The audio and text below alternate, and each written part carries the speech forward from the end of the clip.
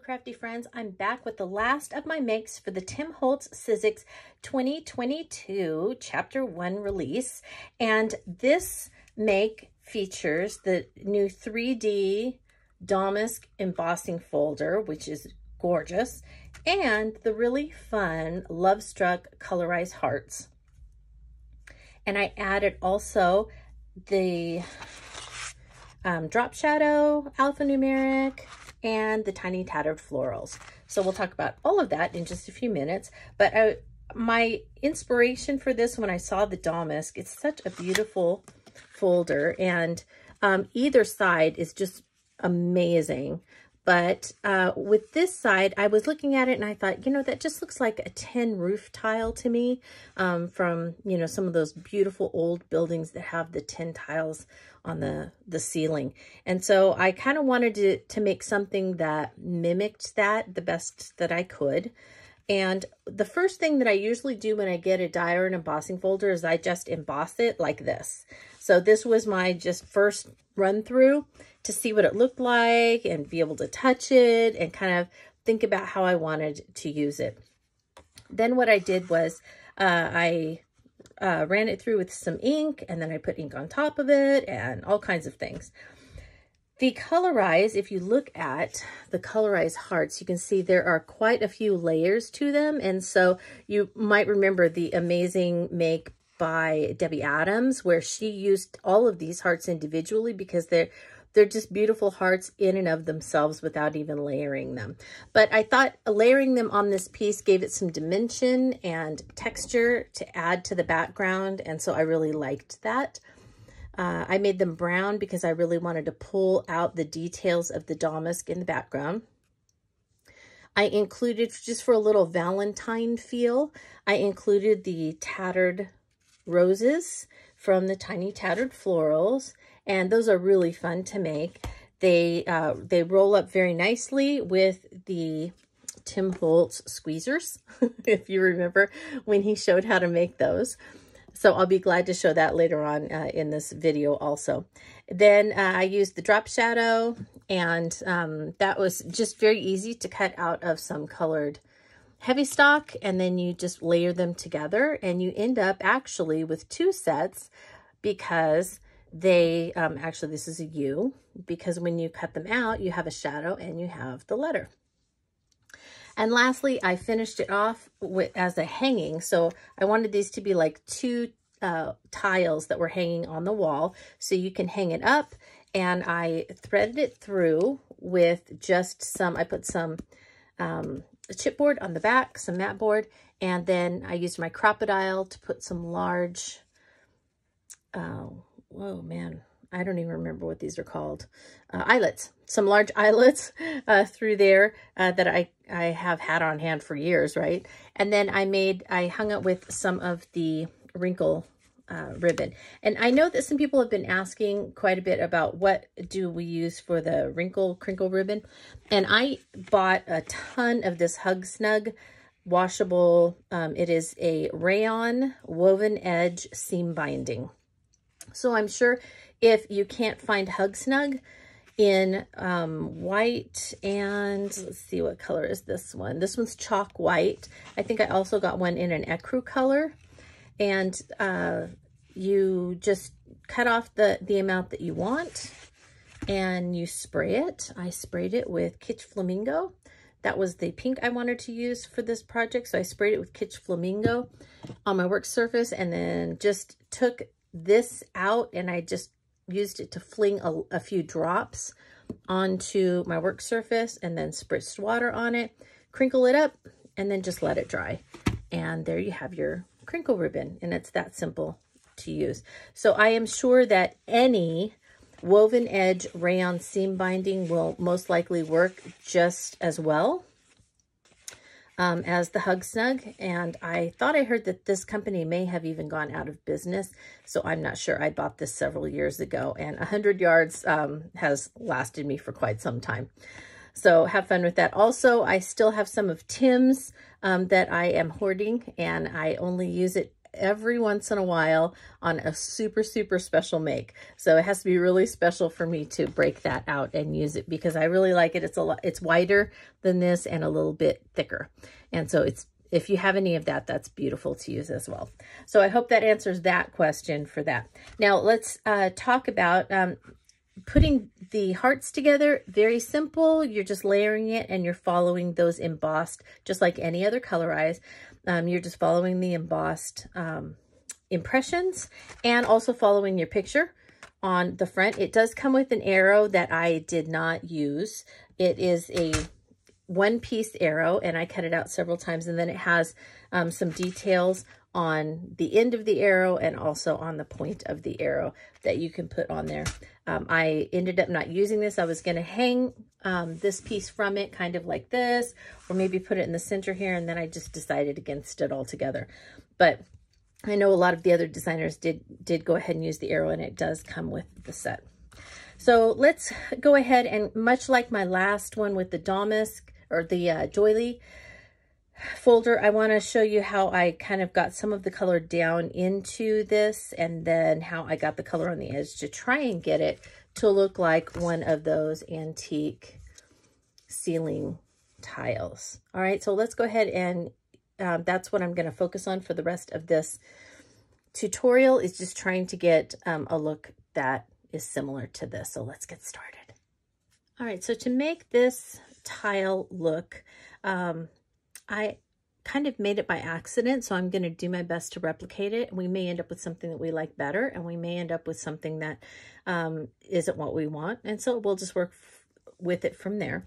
So the first thing that you will need for the first round is you're going to need a brown ink. Um, I'm going to go with Vintage Photo because I don't remember what color ink I used uh, when I made my, my original.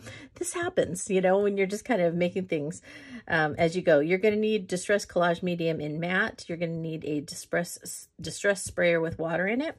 And you are going to need your uh, embossing folders and then I have some paper. So I'm going to try two different papers this time actually. For this, I just went ahead and used my Distress White Heavy Stock um, that I cut in my six by four and a quarter inch piece. And that, you know, fits the whole thing. But um, I also decided I wanted to try some of the um, watercolor cardstock and see if the ink moved differently on it and if it got a, a different look. So I want to try both of those. So let's go ahead and do that. And a little bit different on this one from the uh, doily. So with the doily, uh, we wanted the raised part to uh, stay white. And so we were um, doing the, the flat area. Well, with this one, it's really hard to find the flat area because there isn't a big portion of flat area. So you may be tempted when you're doing this to go for the side that has all of this raised area on it. Um, but that's not really the side that you want to try and ink. You want to ink the side over here that has the little bit of raised area that's going to go down into the crevices on this side. Okay, so you kind of need to stop before you start and think through what you're doing. So if you can feel this, this is the side that I want to come up. So you're going to ink the other side because these are the little parts that are going to go down See, they're going to go down and they're going to give you that little bit of detail down in there. All right. So let's go ahead and give it a shot with Vintage Photo. We may decide that we want a different color next time, but I'm going to go ahead and give it a try. So you're going to want to go ahead and pounce this on there. Try and get as much as you can onto those raised areas. Now you can do this. I did this with Distress ink instead of the uh, a lot of times, especially with my wood grain embossing folder, I will use my, um, the archival. But I want this to move with the water and I want it to wick a little bit. And so I wanted to use the Distress ink for that. All right. So now I'm going to, this was the first one I used, so I'm going to see how it looks. I'm going to wet both sides and I'm going to give this a couple of spritzes. And then I'm going to go ahead and lay this on there. Well, I have to leave it because I dropped it, but okay. You don't want it to move too much.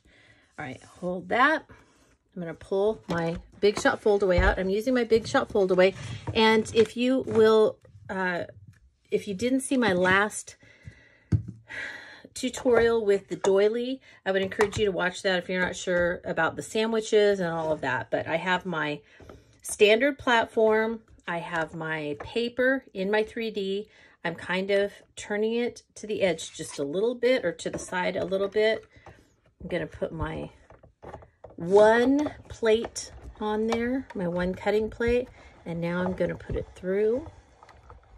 And because it's a heavy stock, I don't need to do it three times, but I did it three times anyway on all of mine because I really wanted a sharp image. And you hold it so that it doesn't pop open and it doesn't move while you're doing this. Okay. Now, pull that out. I'm going to put this to the side over here. And let's see what it looks like. It looks like it shifted a little bit, which is fine on this one. On the doily, I did not want it to shift. All right, so that looks to be a little darker than the one I used originally.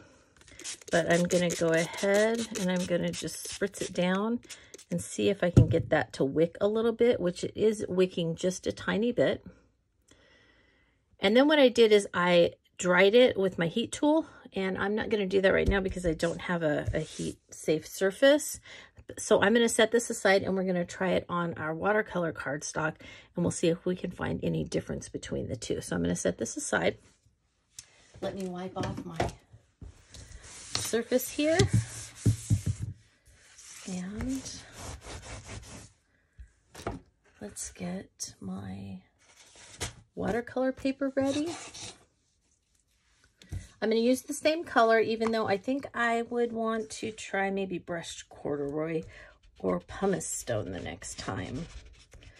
So I'm going to go ahead and try and get it on all those raised surfaces.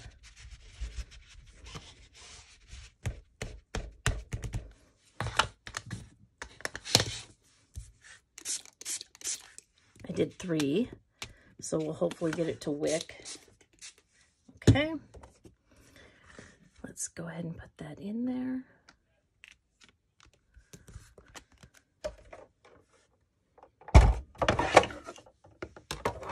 I can't turn it too much with this paper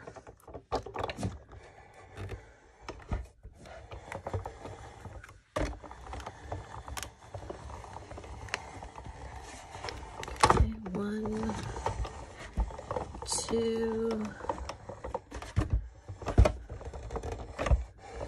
three,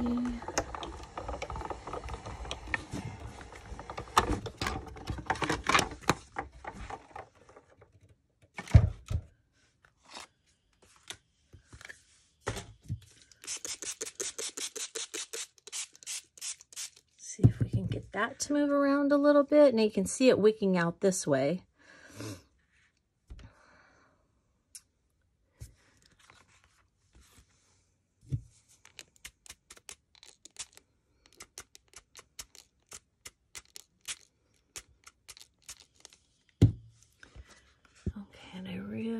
to kind of move around a little bit.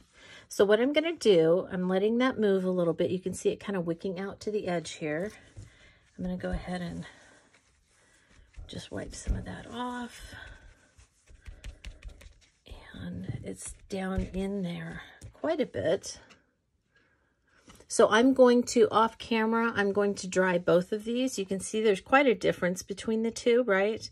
So I'm going to dry both of these and then I'm going to put my collage medium on and I'll show you how I did that. So let me get out my little travel thing and we will put a little collage medium on them.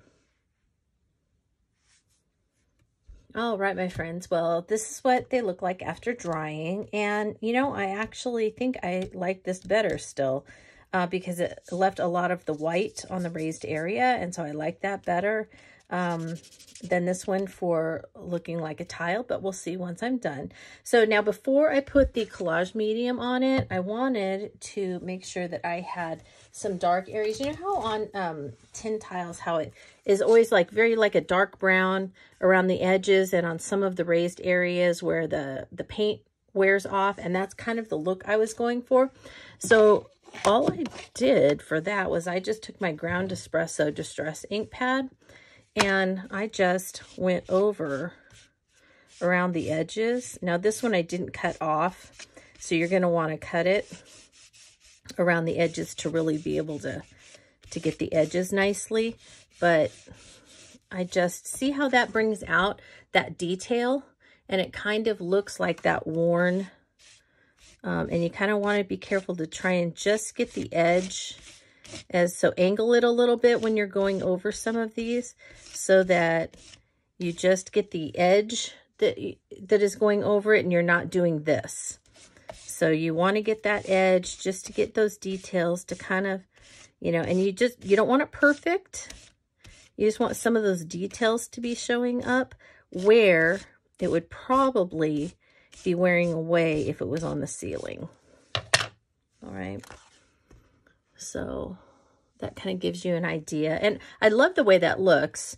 Um, I just would want it uh, to have a little bit more of a, I think, um, of a difference. Now, this, I need to try and get the edges flat as we go over it. Okay. So, I'm going to go around this one.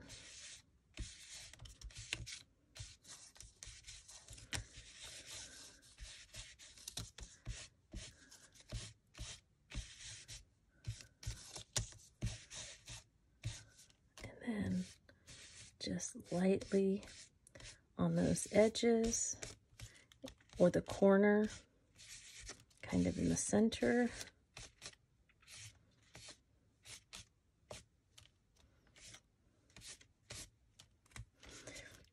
And then on some of them, I just really went in and tried to really kind of get some of those edges quite dark where it would have just gotten really rusty and worn away. So I just really kind of pressed in on those areas to give it that look. And you can kind of do it in different places on the sides as you go around because usually the sides were the ones that would get worn away a lot more than, you know, that center area. So, yeah, I like that. All right. So yeah, I see, I ended up liking that better than I thought I was going to. Okay. So there you can see we've got kind of our areas where we tried to make it look like it was worn and rusty. And if you wanted it even darker, you could go in with a little black soot kind of on some of those corners or areas where you really wanted it to look worn. And as if that edge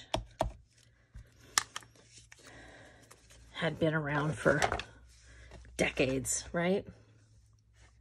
All right, so I would dry that and make sure it was completely dry, which I'm going to do in a minute before I do my next step because I really want it to, to make sure that the ink is set before I add my collage medium because it is wet. And so it will cause that ink to move a little bit more. So let's get them dry before we move to our next step. These are dry now, and if you look at this one, you can see where even though I used the edge, I kind of went over and you can kind of see that it doesn't look very authentic, but I'm not too worried about that because once I add the collage medium, I think that's really going to kind of uh, it's going to react to the collage medium and it will soften it. And so I don't think that it's going to be much of a problem. So let's just give this a try. So the next thing that I did was to take my collage medium, put it on my finger, and I just put it on here and I just used my fingers and I just rubbed it in and tried to get it all over into those crevices. So it, it may have looked like I used the vintage collage medium, but I didn't need to because I used Distress ink on this folder. And I knew that even though I dried it completely, that it would react. And so I'm really kind of pushing it down into those crevices. And I'm trying to use this that's on there because you can see I'm getting a little bit of that color off on my fingers and I don't want to get it into my collage medium. All right, so as I went ahead and pushed it down into those crevices, it kind of brightened it a little. And then as it dries, it gives it kind of that sheen that a tile would have. So that is the watercolor one. I'm back. Sorry about that. I had a little battery problem. All right, so this is the watercolor one. This is the white heavy stock. So let's see how it works when I add my collage medium to this one. And that Distress ink, although dry, will still react. See, you can see it reacting. And I am going to go ahead and keep working it in there. Until I get the look I want.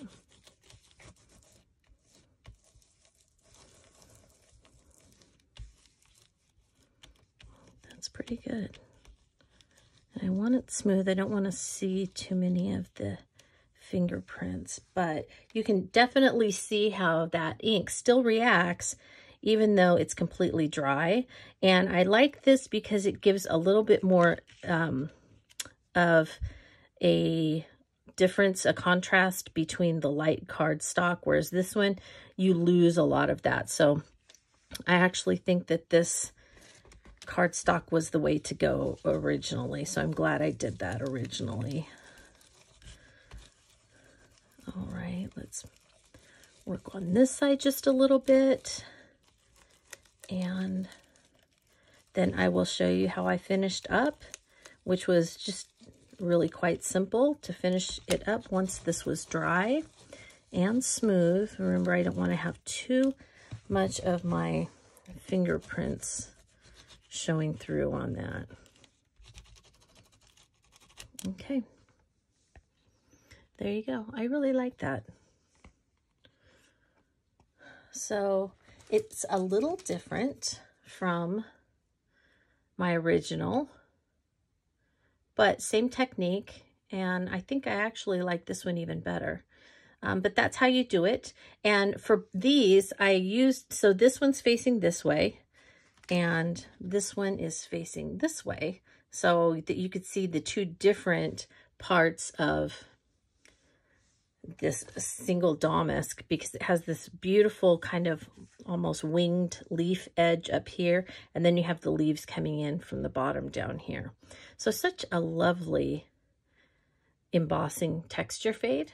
All right, so to finish this piece, it was fairly simple. I used my Crop-A-Dile uh, to, add, to attach the eyelets, but before I did that, I put each panel on a piece of the Sizzix Sizzle, Little Sizzles matte board, and it comes in white and cream, and I really like it. It's a nice, thick, heavy matte board, uh, and it will run through your steel rule dies beautifully. You can cut things from the steel rule dies, so I keep a, a stock of that on hand. So that I attached them with collage medium so that they were sturdy panels, and then I just punched through holes in each corner with my Crop-A-Dile and attached a large eyelet through each hole and then I just thread threaded the um, crinkle ribbon that I made through the holes and I tied a ribbon at the top and I tied two little knots at the bottom.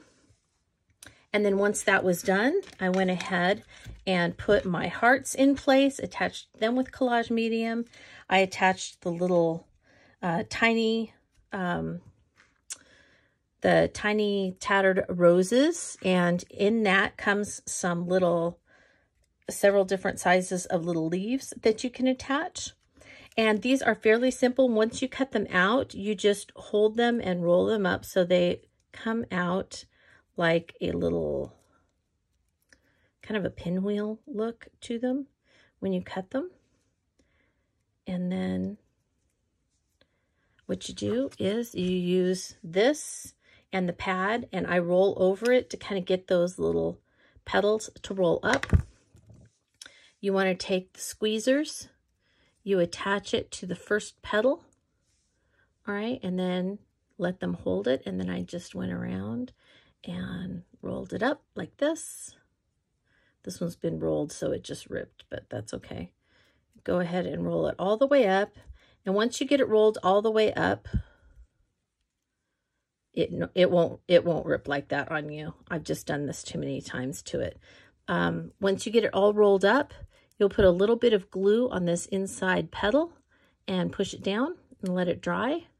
And once it dries, then I go ahead and I go in with these and I press them down to make the rose just kind of move out just a little bit and separate. But once it's dry, I do that, okay? After I kind of push it down into the glue, let it dry.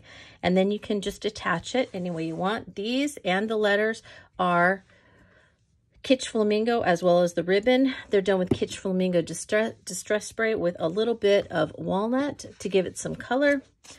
And this is uh, walnut ink. And then these were just various shades of all the different distress browns. I did each one a different color of distress brown so that as we went up, they just kind of would hopefully show a little bit of contrast with each other. And then you just attach the I love you and um, the leaves and things like that, and you're good to go. In order to get these to stay, because they are do have a shadow, and some of them have this little inside piece. So what I did to with that is that I would put, um, I'll show you on this one, I would put just a little piece of heavy stock that I, you know, cut it out with. I would cut a thin piece that would fit behind it and I would, I glued it behind it so that it would hold those pieces in. So this one, like I would have cut off here so it wouldn't show when I turned it back over. And then that allowed me to go ahead and attach it without, you know, things falling out. So because this has to see like that. And so you want to be able to have it um, stay together. So there you go, something like that. And that allows it to stick to something on the back and then you can put it on without it falling apart. Okay, so that's how I did all of that. And lickety split, you have a wall hanging for Valentine's Day or any day that you want to celebrate love. All right, hope that helps. If you have any questions, feel free to email me uh, through my blog, and I will get back to you as soon as I can.